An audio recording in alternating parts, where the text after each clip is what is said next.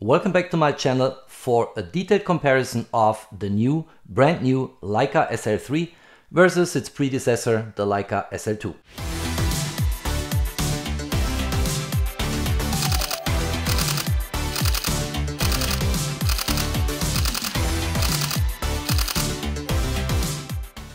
Before going right into the topic, namely comparing the new SL3 against its predecessor, the Leica SL2, let me first of all thank my friends from Leica Switzerland and Leica Zurich who gave this pre-production sample to me already a week before the big influencer event at the Leica campus in Wetzlar. So I had really a lot of time to get myself familiar with the new camera, looking into the specifications, shooting the camera and spending time with that newest member of the Leica system camera family. Let's start with the heart of any digital camera and that's the sensor. And both cameras, the new Leica SL3 and the Leica SL2, which I have here in my hands in chrome finish, both have a full frame sensor. So we are talking about 36 times 24 millimeter.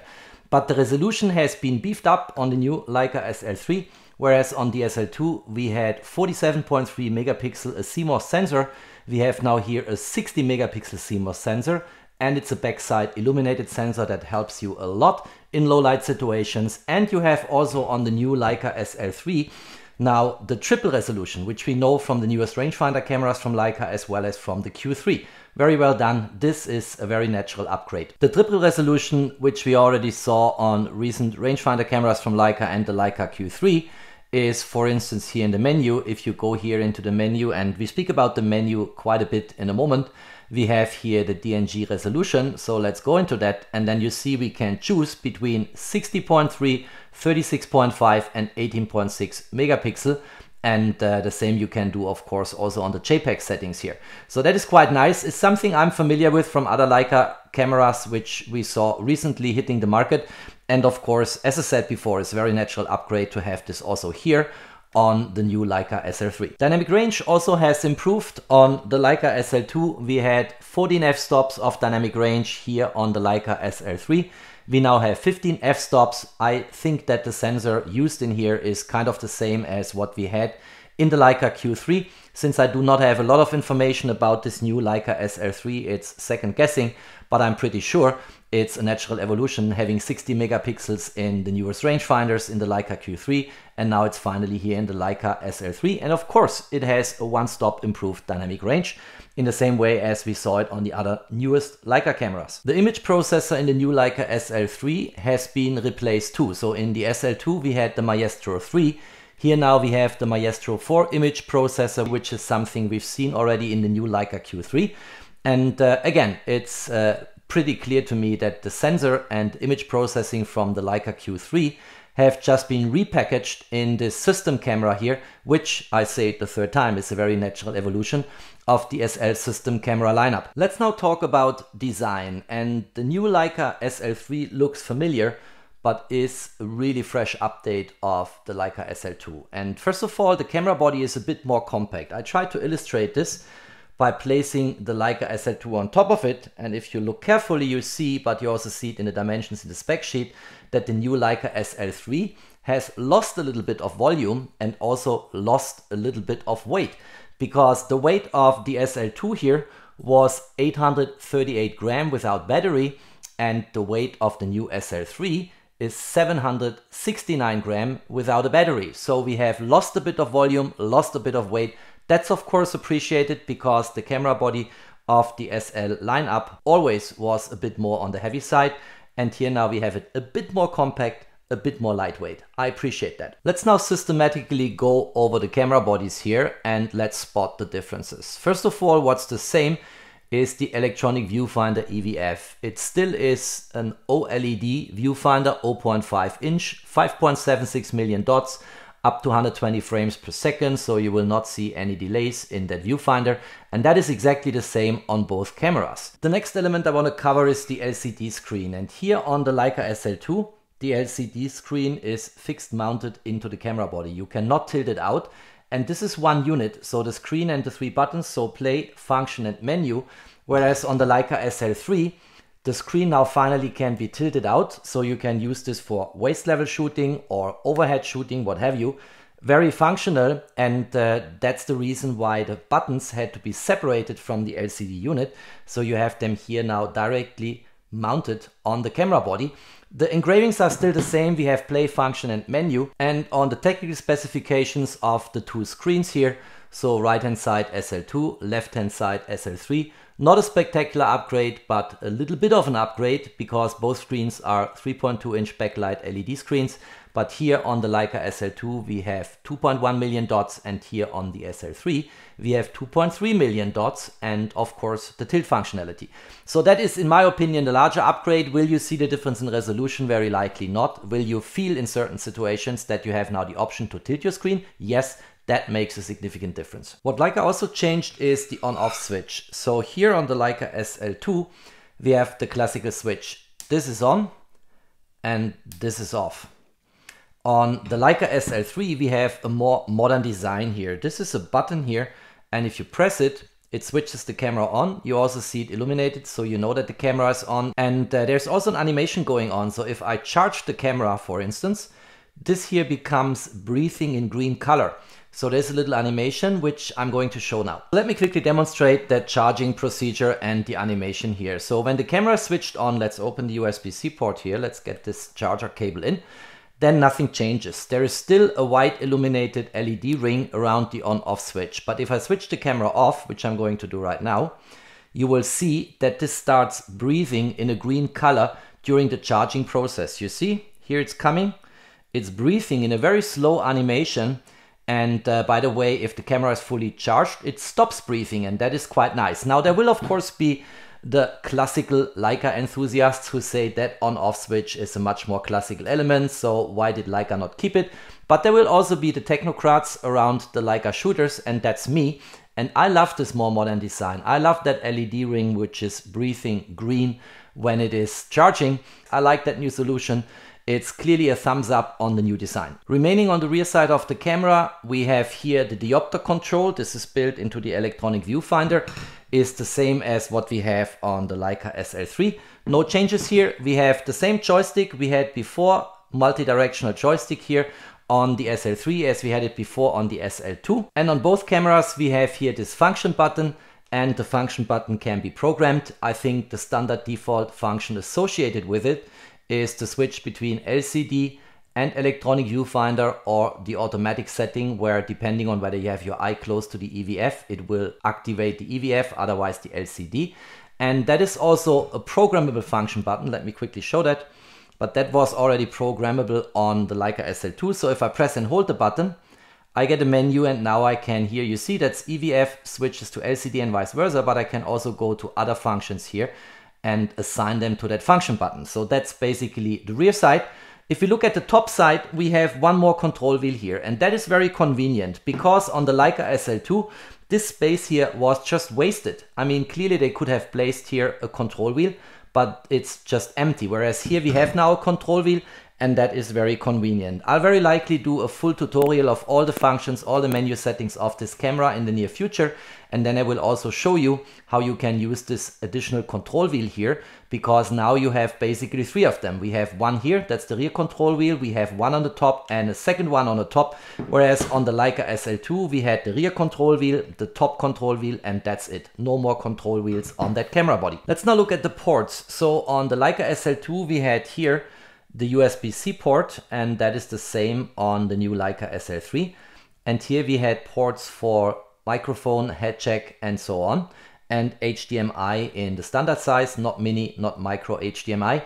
On the Leica SL3 that looks kind of the same, but don't be mistaken. On the USB-C for instance, we have now the fastest available standard and this can go as fast as 100 megabit per second with a USB 3 cable and uh, that will continue in a moment when we look at the card slots here. So that is nice. And then here we also have again headphone jack, uh, we have microphone jack and HDMI in the standard size.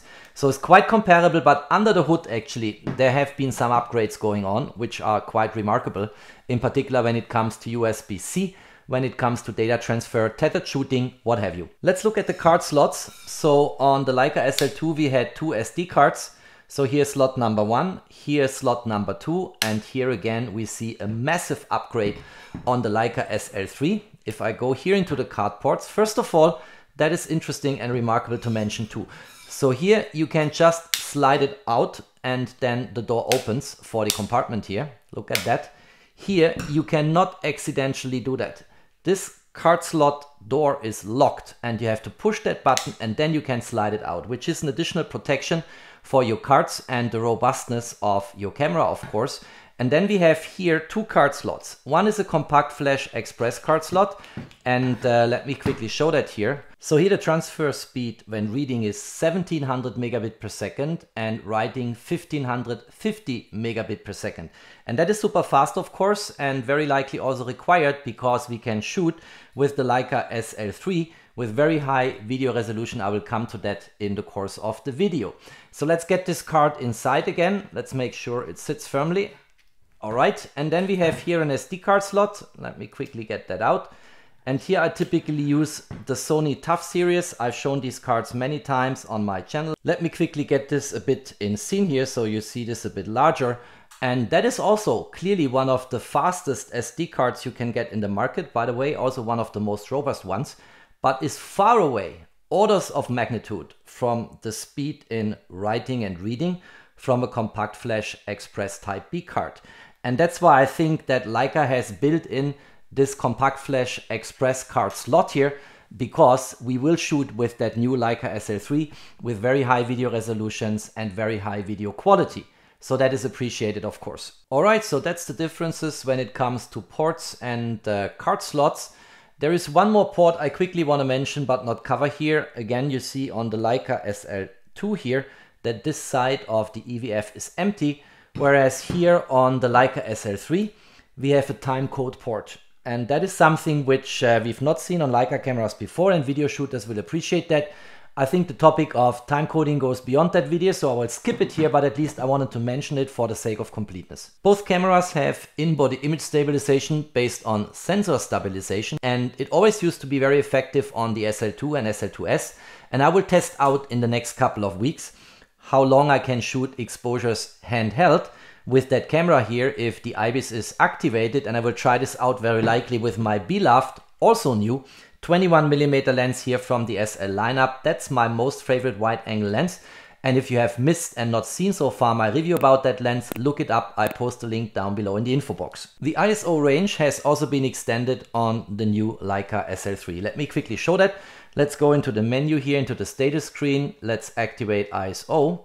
And then you see I can start all the way from 50, which is the lowest ISO value I can choose, up to 50,000. And then here is auto ISO mode. Let's quickly look into the same on the new Leica SL3. Let's go into the status screen. I come to that screen in a moment. Here is ISO.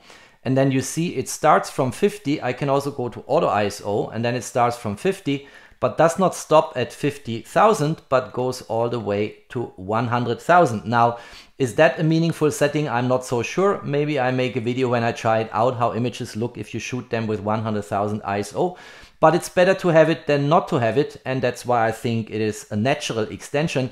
We've seen this on other cameras, even going beyond 100,000 ISO, although in only very few occasions really meaningful, of course. Let's quickly look at the front side of the two camera bodies. So on the SL2, we always had here these two function buttons. So here's a lower one and an upper one. You can assign functions to these buttons via the menu and the same is the case also here on the Leica SL3.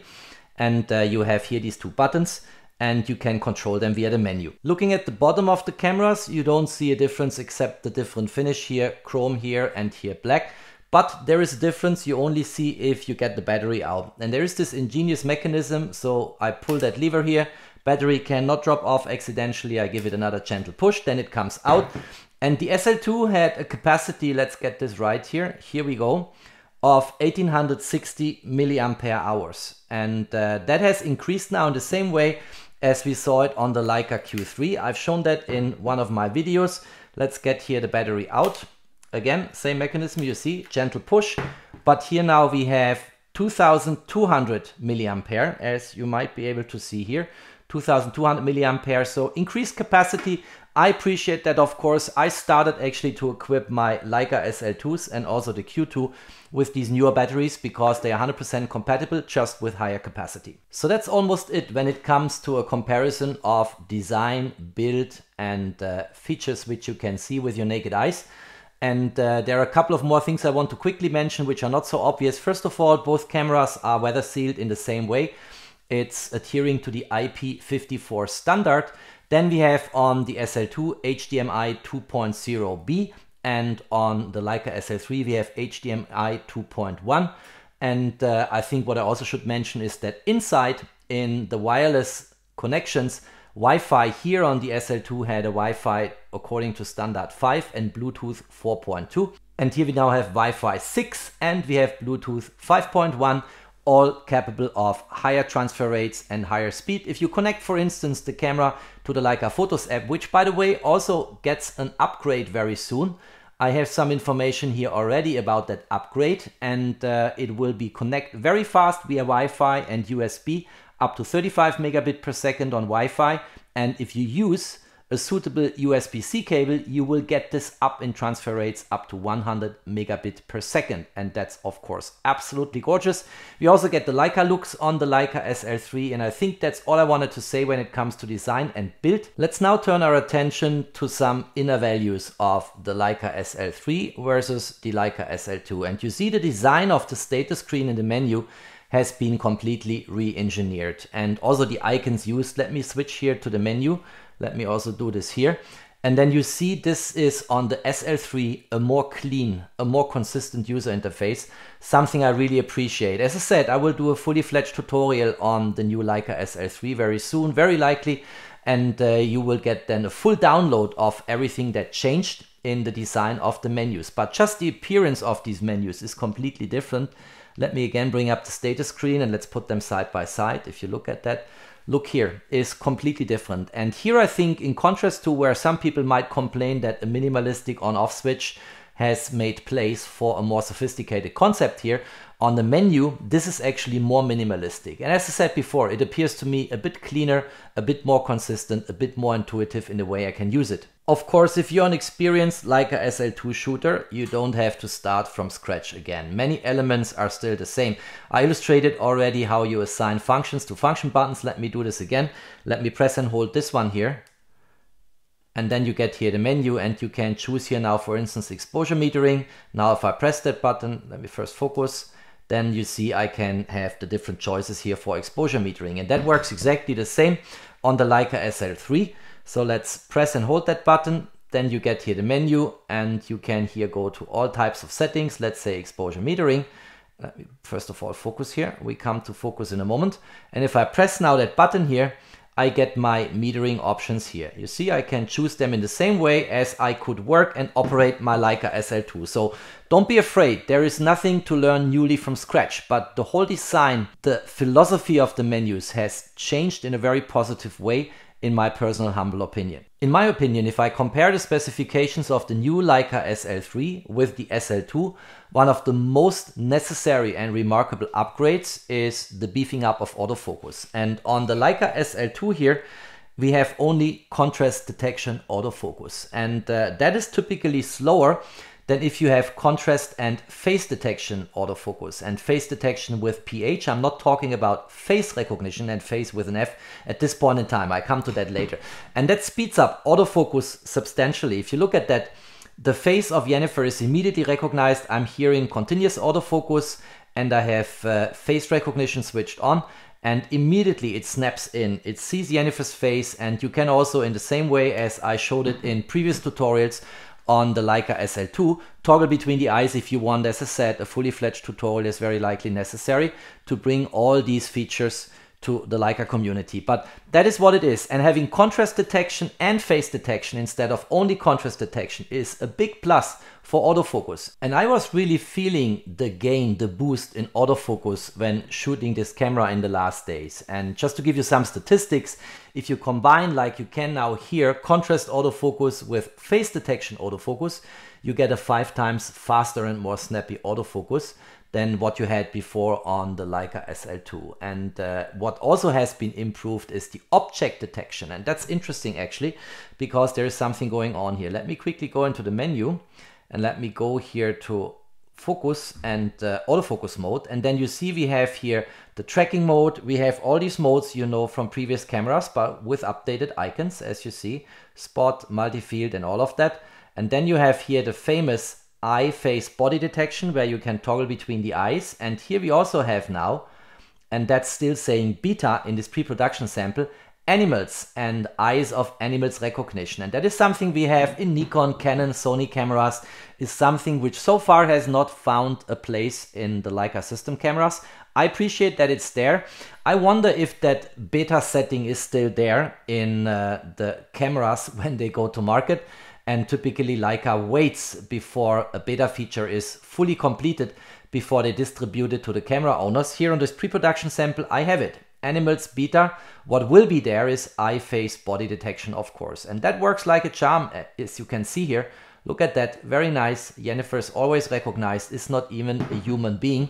And the camera nevertheless knows that this is her face, that these are her eyes. So that is quite nice. And then of course, in the context of phase detection autofocus in combination with contrast autofocus, what I also should mention is that there is training going on from an artificial intelligence perspective on these object detection algorithms, which Leica is now doing in kind of the same way as other camera manufacturers. It's adjusting according to the depth of a scene and then can track in a three-dimensional way a face of a human being or if the beta is completed also the eyes of a dog if it's running towards you. So that is quite nice. There is a lot of improvement I see here on this new Leica SL3 and uh, I appreciate every progress in autofocus because so far the Leica SL system was always on the slower end when it comes to autofocus and object recognition and this will gain a significant boost with the new Leica SL3 and very likely something a lot of influencers on YouTube will jump on to demonstrate you how well this camera is doing.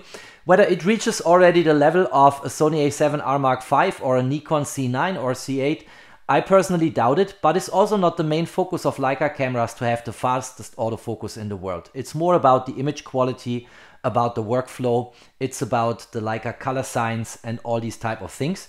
But clearly, with the SL2, I was able, and I have videos on my channel where I did sports shootings and sports in action, and this will improve now by about a factor of five in terms of speed on the Leica SL3. Very well done, Leica. I like this a lot. When it comes to video resolution, the Leica SL3 also has significant improvements compared to the Leica SL2. Let's swipe here to go into video mode and then let's go here into the different settings we have here, video format and resolution. Let's go to this one first and you see up to 5K. I prefer actually Cinema 4K. Uh, up to 5K is the maximum you can do on the Leica SL2. That has been now beefed up on the Leica SL3. Let's go into the video mode by swiping. Let's go into the menu and then in the menu, let's go to the settings for video profiles. And you see how more clean this menu is. I really like it. And then you see here, for instance, we have here on MOV, let's go into that here. We can program here different resolutions and the largest one we get here is 8K, then cinematic 8K. So here we have a significant boost in resolution. I wonder actually how Leica was able to make the volume, the dimensions of the camera even a bit smaller and nevertheless dealing with heat dissipation.